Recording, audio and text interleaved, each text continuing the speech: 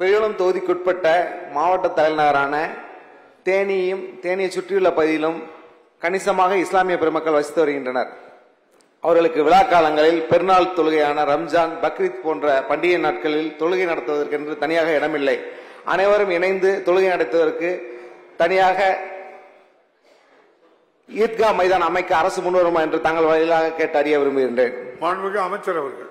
மாண்புமிகு பேரவைத் தலைவர் அவர்களே இஸ்லாமியர்களுக்கு கபரஸ்தான் அமைக்க.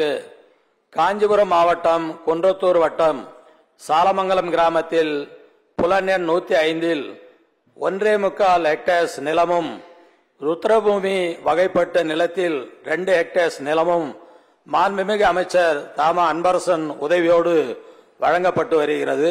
நாகப்பட்டினத்தில் வார்டு எண் ரெண்டு பிளாக் எண் இருபத்தி ஏழில் அரசு புறம்போக்கு நிலம் ரெண்டு புள்ளி இருநூத்தி ஐம்பது சதுர மீட்டர் நிலம் மாண்புமிகு பொறுப்பு அமைச்சர். மாண்புமிகு அமைச்சர் அந்த அவங்க கேட்ட கேள்வி அவங்க ஊருக்கு கேட்ட கேட்க குடுக்கலா குடுக்கலையா?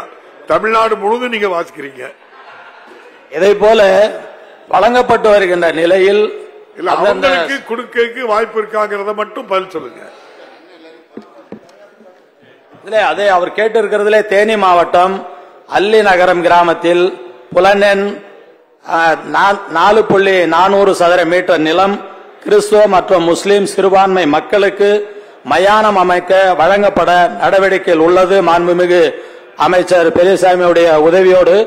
இதை போல பல்வேறு இடங்களில் அந்த இடம் தேவைப்படும் சட்டமன்ற உறுப்பினர்கள் அந்தந்த மாவட்ட ஆட்சித்தலைவருடைய கவனத்திற்கு அதை எடுத்து வர வேண்டும்.